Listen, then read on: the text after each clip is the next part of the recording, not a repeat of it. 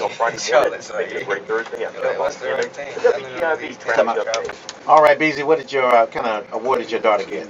She got a letter from City Council uh, two days ago saying that they would like to nominate her for student athlete of Berks County. Wow, And that's major. That's my baby.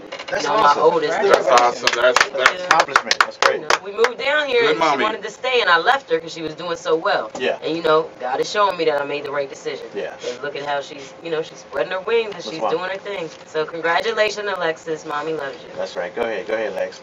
All right, y'all. You can hit us up also on uh, WGIVCharlotte.com, our social media. I'm very excited. I'm into social media in, in 2013. Hit me up on Twitter at, at BJ Murphy Show. And uh, also, we got our Instagram page uh, that is really blowing up as well.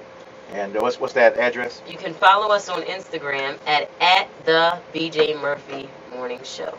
That's right. And check out the video we have on um, Facebook uh, about the morning show. We have our videographer uh, on our internet uh, site. He's in there right now. Go ahead, say, say hello to the people, bro. Tell everybody little bit about yourself. Yo, what's up, everybody? How y'all doing? This is DJ BG. I'm here with the uh, Raising the Boy Show on 103.3 FM, 1370 AM, WGIV.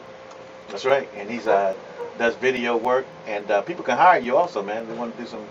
Yeah, I need some money. My daughter in college right now, and, my granddaughter, she been calling me like, ah, Abba, I need some shoes, man. So get at me now. All right. You can catch me at uh, BG Entertainment LLC on Facebook, uh, Glen Mitchell on Twitter. So get at me. That's right. Glen Mitchell doing a great job. DJ, can I get the hookup? You giving hookups?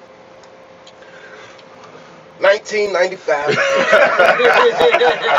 Ain't no hookups, brother. That hookup No days is hookups. over.